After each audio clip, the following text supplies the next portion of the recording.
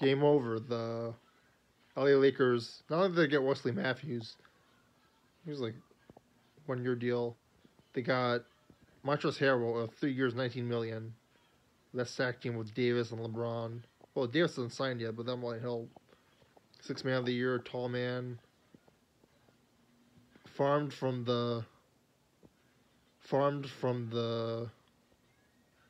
LA Lakers, or sorry, uh, Houston Rockets center system, where he thought some scrap.